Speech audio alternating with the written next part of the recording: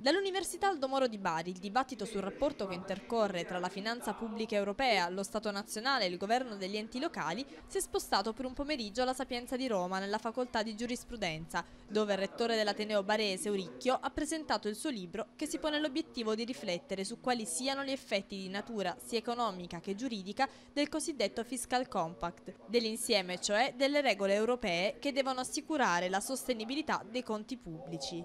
Il tema è di particolare attualità perché i vincoli posti dai trattati europei e poi costituzionalizzati nel 2012 impattano sul sistema di governo della finanza pubblica e anche della finanza territoriale. Esiste ancora la sovranità nazionale, ci si chiede nel volume?